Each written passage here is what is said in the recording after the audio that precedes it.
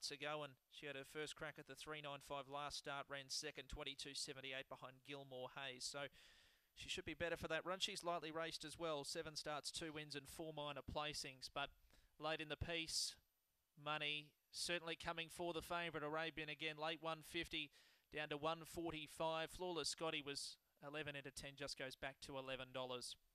Second line coming forward now. This is the first of four fifth grade heats this afternoon. The green light's on. The favourite drawn box to Arabian again. We're ready to go. Set for a start. Racing Arabian again got out quickly. He's going to go straight to the front with Lorraine across to second, three quarters away. Getting to third was uh, My Melanie, and they were followed deeper out then by Zipping Tanya, Dr. Rossi. Little AC backwards of midfield, followed by Flawless Scotty. Last of all, Powder Keg, but it's Arabian again. Out by five lengths to Lorraine second. They were followed by Zipping Tanya and My Melanie, but the favourites miles too good. Arabian again. One by six, beat Lorraine. Third's close between My Melanie and Zipping Tanya. Uh, they were followed next over the line then by uh, Dr.